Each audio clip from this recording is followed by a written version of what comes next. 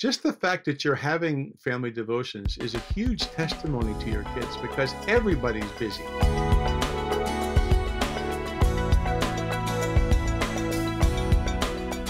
Let's talk about the different roles of mom and dad and maybe even kids and how that plays into our family devotion time. What and let's start with the, the dads. What is the role of dad when it comes to family worship and family devotions? I think it's real important for dads to take initiative in this this arena. I mean, everything in our culture today is trying to put dads down. It just Yeah. is. Yeah. And and so I think it's important for for kids to see that their dad thinks this is important enough that they want to do this. In fact, just the fact that you're having family devotions is a huge testimony to your kids because everybody's busy. Yeah. That that's across the board. But if kids see that this is so important that you are carving out time to read the Word of God because you feel like this is eternal and this is life-changing stuff, then you are you are already sending a huge message to your kids that this book is important. Mhm. Number one. Number two, um, I think the scriptures teach clearly that it's the parents' responsibility to teach their children. So if I was out of town on a trip, but this was before Skype, uh, my wife would lead family devotions. But when I was home, generally she would defer and I would take the initiative. But um, I don't think there's anywhere where it says the dad has to be the one to do all the teaching. Now, let me let me tell you a couple stories about this. And when I say stories, a lot of the stories that I've heard from this is because I used to give away my family worship book for free at conferences. What I would do is I would say, especially to the men, I would say, I will give you this book if you read it within 30 days of this conference. Otherwise, you owe me 50 bucks. Right. Now it's 140 pages, so you can read it in two hours. In fact, it's an audio book and it's free on my website. You can just listen to it if you want. So this is not hard, but dads need a deadline. They need money and they need Uh-huh. somebody to appeal to their testosterone. So anyway, so I did this. And as a result, I would send emails out to see whether they did it. And I got so much thoughtful feedback. Men are not meat eating sports watchers. Men are deep and they have it. They know that they have this responsibility and they want to do well with it. One dad wrote back and he said, My son, who was in charge of setting the table one night, and in their family, whoever set the table determined who sat where.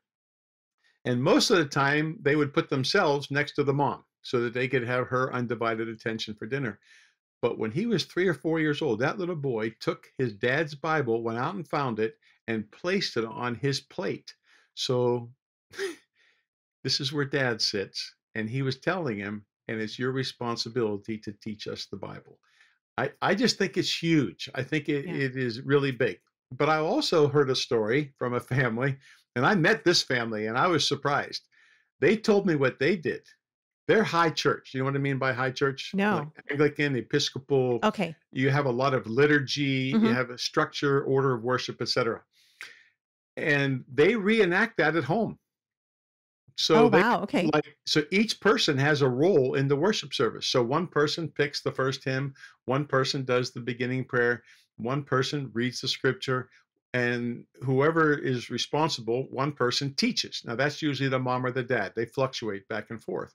And then they have a corporate prayer they have but they have a through if i remember g.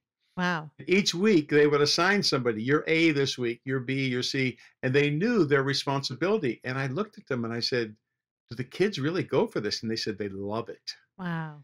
and i said how long does a worship service in your home take? And they say oh, about 45 minutes but it's the highlight of their day and everybody participates in the worship service Let me ask one more question. Um, we we have a few minutes left, and I want to shift just a little bit to, um, you know, we've talked about church, and um, you know, we there's there's corporate worship that we do as a church, and then there's family worship, and I want to ask this in light of discipleship because it's our job as parents, of course, to disciple our kids, to be the ones to teach them, as you said. What about others speaking into the lives of our kids? Um, and and you and I, we even talked a little bit about Sunday school and how you know our kids, your your kids always sat in church with you. Our kids sit in church with us. But I also think that it's important for other Christians who we trust to be able to pour into the hearts of our kids and help disciple them, not disciple them for us, but help speak truth and life into the hearts of our children. Can you speak on that for a minute? I think it is important for children to hear the same thing from somebody else hmm because we can kind of have the mindset, oh, that's just mom, that's just dad. Right.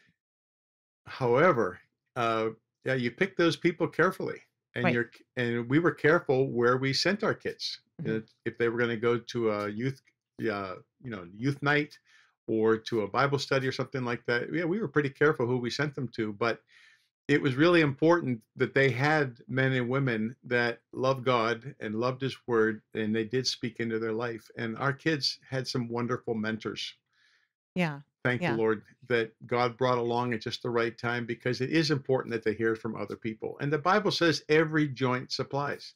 hmm You know, we help each other and we all have different giftings and things. So, yeah, Yeah. I'm Yeah. all in favor of that. But you have to be careful nowadays. Yep. Yep. Yeah. You have to know what they believe Yeah.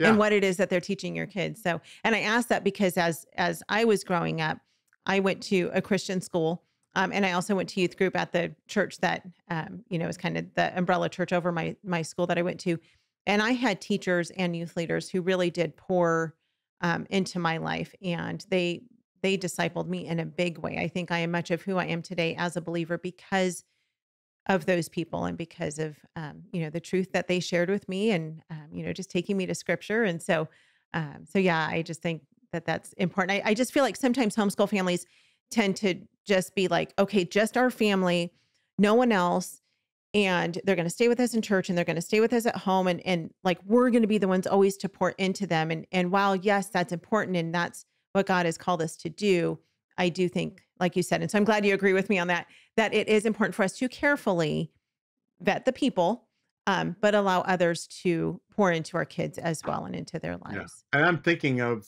I'm thinking of several men right now with Yeah. my boys. I mean, their pictures are up, they're floating in my head as I'm talking about them.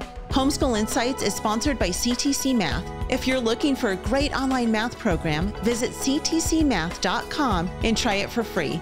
For more great homeschool inspiration and resources, listen to the Schoolhouse Rocked podcast every Monday, Wednesday, and Thursday.